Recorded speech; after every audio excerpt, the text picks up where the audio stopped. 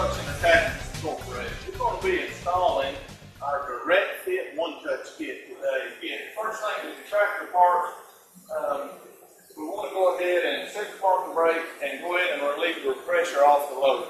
First thing we're going to do is the hydraulics installation. So with the tractor parked just like this, we'll work the valve handle in both directions. Go ahead and let the loader down.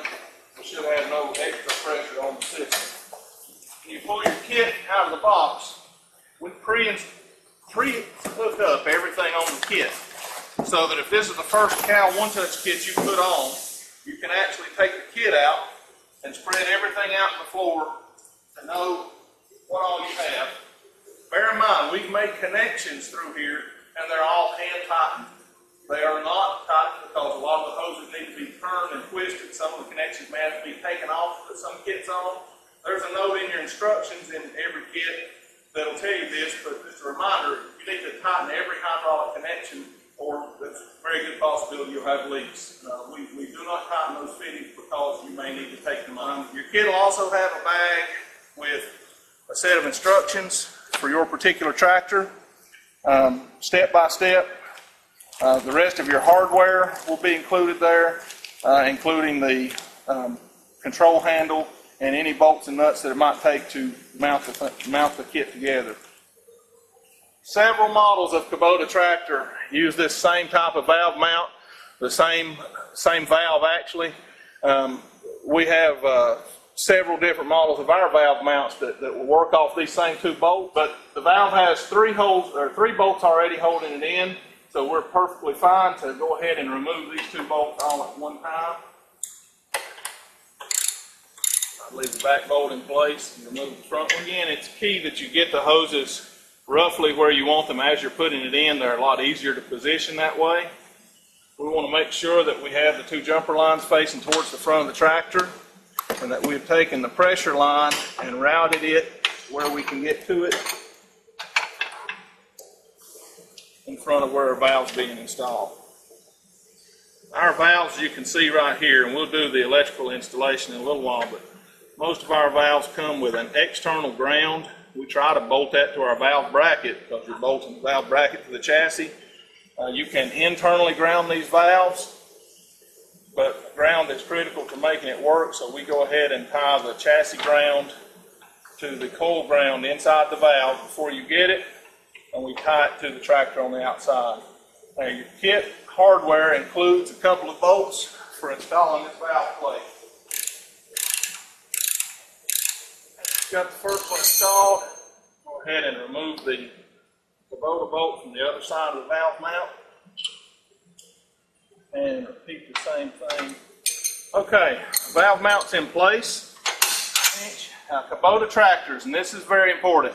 Before we hook into the hydraulic system, we need to go over this. Um, the tape typically indicates on a Kubota tractor, and this is defined in your instructions whether the tape is there or not. But on your Kubota tractors, typically anything with a gray piece of tape is a tank line. An orange piece of tape indicates pressure, and green indicates power beyond. I can't stress enough how important it is to make sure that we're in series with the power beyond on the output side of the valve. On this Kubota tractor, we have a gear pump. It's open center. It builds pressure until something relieves it or until something breaks.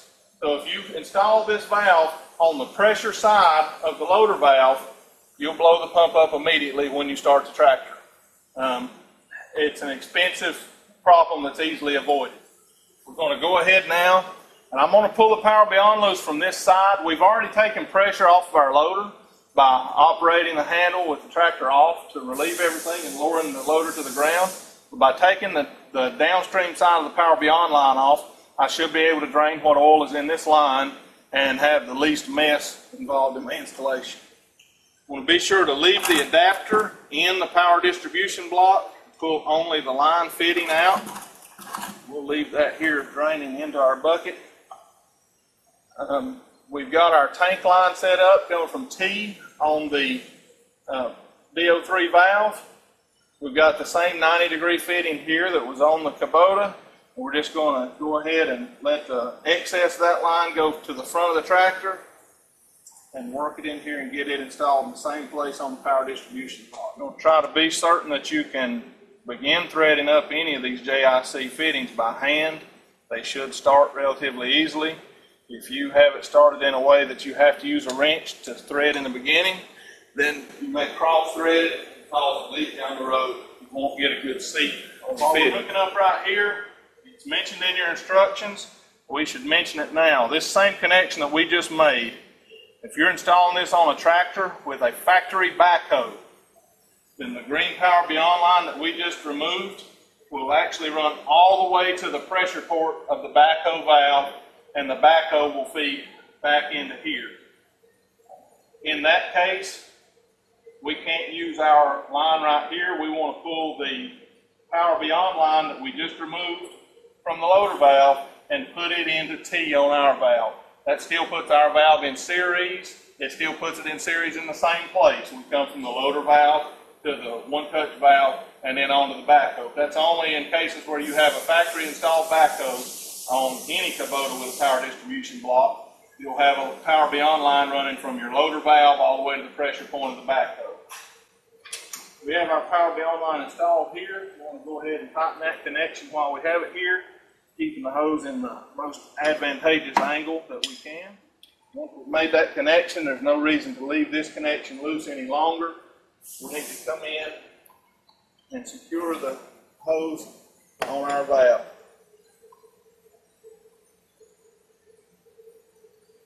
Roll it to the back, tighten your hose connection, we leave that loose only because that keeps the hose from putting twist into it that make it difficult to feed where we want it. You get these connections tightened at the point I'm tightening now, oftentimes the hose is bound up and they don't swivel as easily, and you'll put a kink in the hose that's difficult to work out. With that connection made, we can go ahead and push the hose back where we want it. With an 11 16 wrench, we'll tighten our 6801 fitting into the manifold. Okay, that finishes up the downstream side of our valve. We now want to go ahead and plumb pressure in the line that we removed on the lower side. We want to find the opposite end of that line on the loader valve. We want to go ahead and completely remove that line. It will not be reused in this installation.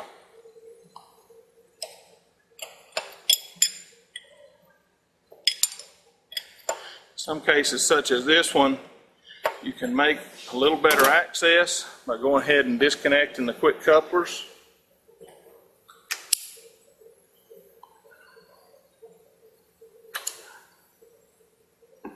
Laying those lines to the side. And you'll get a trickle of oil out of those, but nothing significant. Because of the order of operations that we used, that line was already empty when we removed it made this connection at the top a lot cleaner so that it's easier for us to go ahead and install our pressure line. The pressure line that we guided in when we began mounting this valve is now accessible. We want to route it back into the same fitting that we just removed the Power Beyond line from. By making this connection, we now have Power Beyond from the loader valve into the P port on our DO3 manifold. We have pressure through that manifold on the T port going back into the power distribution block. So we have essentially put our valve in series, not parallel, we put it in series with the loader valve on the track. There's nothing else we need here, so we can go ahead and reconnect our quick couplers. If we've taken those off, you don't have to take those off. Makes a little easier access. So, the only thing left to do is to go ahead and tighten the fittings on the pressure side of the one-touch kit valve we put in.